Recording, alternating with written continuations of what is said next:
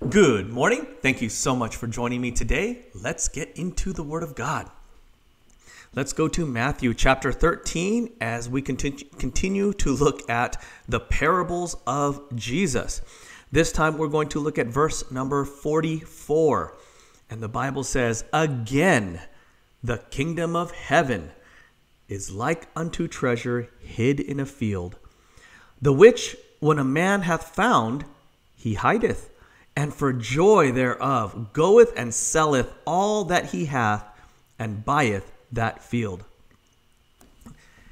If you can imagine a man that is just out in the field, maybe taking a hike or something, and as he's hiking, he sees something. He's not sure what it was, but it catches his eye. And he, as he walks closer to this object, it becomes clearer and clearer what it is. It's the corner of something, you know, sticking out of the ground He goes over, he starts to dig a little bit, and he uncovers a treasure chest. And as he does that, he realizes that whole area is just filled with buried treasure. And so he quickly hides it again, buries it again. He goes, he, he, he does his you know, spends all this time researching who owns the land so he can buy it from him. How much does it cost? He, and he literally sold everything he had. He sold his car. He sold his house. He sold he sold everything. Uh, you know, it, all, all of his belong had a had a garage sale, fifty percent off everything. I mean, you know, he just everything must go liquidation sale. He sold everything so that he can have enough money to purchase this field.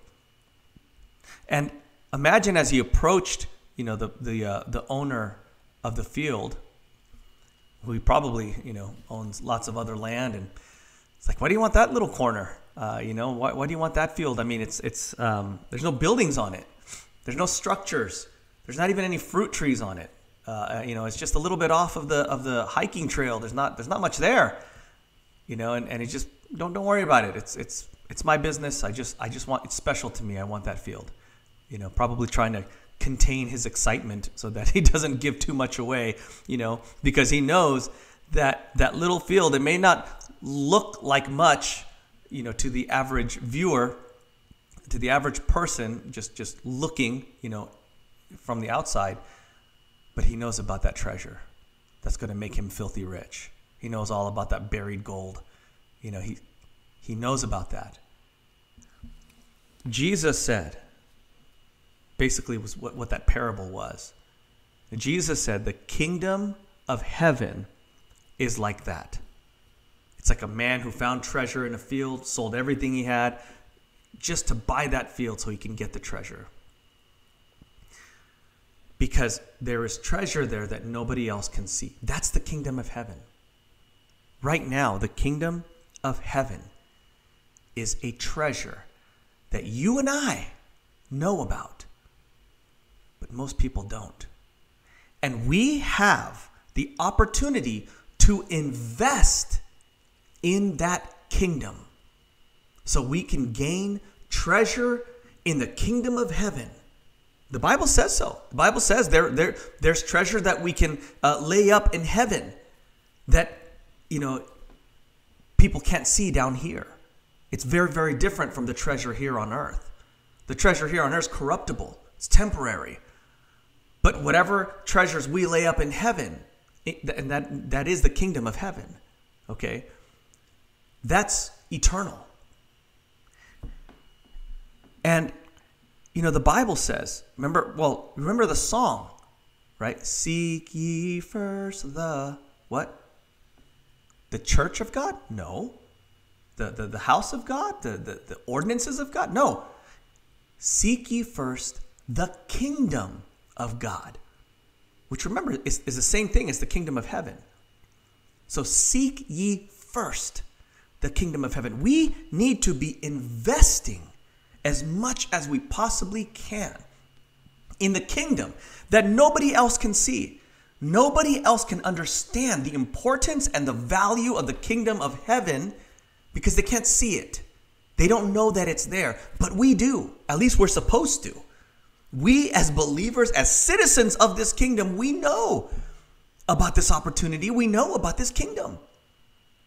And so we should sell everything we have, figuratively, of course, okay? Well, maybe literally if God leads you to do it. I mean, the early church, some, some of the early believers, they did just that. They sold literally sold everything. And they, and they went, you know, full-time ministry for the Lord and went and just spread the gospel all their lives.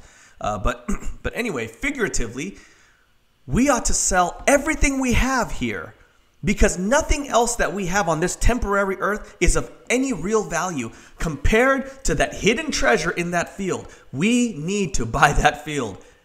And let me tell you, the kingdom of heaven, Jesus said, is ex- it's exactly like that parable. Here is an opportunity for us to have eternal treasure in this in this kingdom, the kingdom of heaven. That, of course, yeah, the world can't see it so therefore, they can't see the value in it. So they don't care.